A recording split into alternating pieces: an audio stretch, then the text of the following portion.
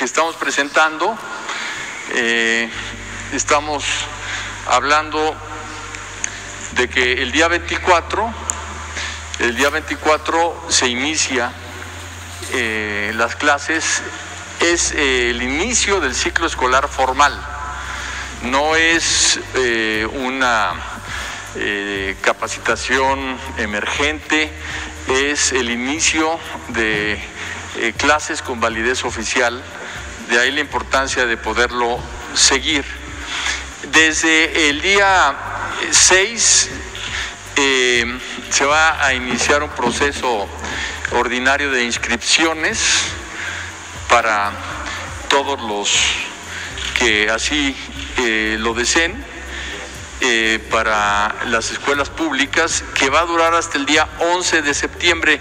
Aquí ya va a ser un proceso extraordinario, pero quisimos ampliar el lapso para que haya mayores posibilidades de inscripción. En cuanto a esto del 10 al 14, precisamente vamos a tener capacitación magisterial eh, previa al inicio de clases.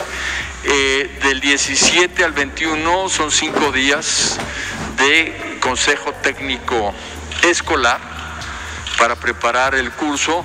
Todo esto va a ser en línea no va a ser eh, presencial. Iniciado el curso, tenemos otros días de capacitación eh, magisterial. Eh, fue un éxito todo el esfuerzo que se hizo en capacitación en herramientas digitales y vamos a continuar con esa capacitación una hora al día para maestras, maestros, alumnos que quieran eh, participar en esta capacitación desde su casa e incluso madres y padres de familia podrán inscribirse. El día 16 de septiembre pues es día de asueto, no tenemos que explicar por qué, es realmente una de las fiestas nacionales más importantes, entonces no se trabaja. Nos vamos a octubre y el primer viernes de octubre hay otro consejo técnico escolar en donde no hay eh, clases para las alumnas y los alumnos. En noviembre estamos hablando de que no se trabaja en las escuelas el día 2 eh, de noviembre y eh, de acuerdo a la Ley Federal de Trabajo, el día 20 de noviembre se celebra el primer lunes previo. Esto es el 16 de noviembre. Y eh, estamos eh, dando el día 13 de noviembre eh, como una cosa totalmente novedosa para el magisterio. Una de las cosas que más nos ha solicitado el magisterio es tener tiempo para la descarga administrativa. Los maestros y las maestras del 24 al 27 van a darle las boletas de evaluación a las madres y padres de familia entonces el día 13 va a ser un día donde no, no va a ser laborable desde el punto de vista escolar para que las maestras y los maestros tengan este día de descarga administrativa. Es una cuestión novedosa, es la primera vez que se hace en el calendario escolar, pero lo merecen nuestras maestras y maestros para eh, poder hacer esta descarga administrativa, de manera que el día 13 no se trabajará. En cuanto a diciembre estamos viendo que el día 11 hay Consejo Técnico Escolar, el viernes 11, e inician las vacaciones de diciembre el sábado 19, eh, la semana del 21 al 25 no es laborable, del 28 al primero tampoco, y la semana de enero, que incluye Reyes, los días jueves y viernes iniciaremos el año también con Consejo Técnico Escolar, que es la forma en que se pueden planear todo el trabajo escolar. Tampoco habrá clases, de manera que se regresa el 10 de enero en esta ocasión. En el caso de eh, febrero, tenemos el lunes primero de febrero, también como asueto, esto corresponde a que, de acuerdo a la Ley Federal del Trabajo, el viernes 5 eh, se celebra el primer lunes previo, por lo cual ese día no se va a trabajar. Y el día 19 de febrero tenemos de nuevo Consejo Técnico Escolar.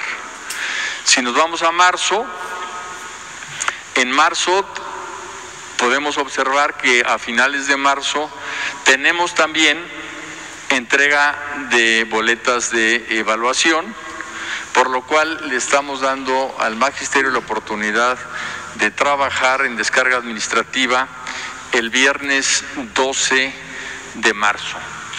El día 15 de marzo eh, es día de asueto obligatorio eh, porque de acuerdo de nuevo a la ley, el día 21 de marzo se celebra el lunes previo, que es el día 15. De ahí nos vamos a las vacaciones de Semana Santa y Pascua, que eh, son esta semana del 29 al 2, del 5 al 9 y tenemos consejo técnico escolar el día 12 de abril, de manera que se regresa el día 13. Y en mayo, el 5 de mayo, no se trabaja y tenemos consejo técnico escolar el 21 de mayo. En junio eh, vemos cómo se va a concluir el año en julio con la entrega de boletas, por lo cual de nuevo, una semana antes, como lo hicimos en noviembre y en marzo, vamos a dar un día de descarga administrativa al magisterio, que va a ser el 28 de junio, y el día 25 habrá consejo técnico escolar. El ciclo escolar que inicia el 24 de agosto concluye el día viernes 9 de julio la semana siguiente habrá dos días de descarga administrativa e iniciarán las vacaciones de verano. Este es el calendario escolar que regirá a la educación pública y privada en México y eh, pues creemos que es eh, una gran noticia para el magisterio el hecho de tener estos días previos a la entrega de boletas con la descarga administrativa para que puedan hacer su trabajo y para que tengan respuesta a una demanda que hemos escuchado desde que empezamos los foros de consulta ya en el 2018 que fuimos por todo el país escuchando a maestros y maestros y era una demanda reiterada eh, que eh, pues hemos eh, empezado de manera muy clara a atender con este cambio en el calendario escolar. Todo el calendario escolar nos lleva a 190 días efectivos de estudio y de trabajo, es un calendario muy sólido, eh, porque eh, son los días que precisamente se había planeado que estuviesen trabajando las niñas y los niños. No cuenta eh, ni los consejos técnicos escolares ni la descarga administrativa en estos 190 días. Son 190 días efectivos de clase.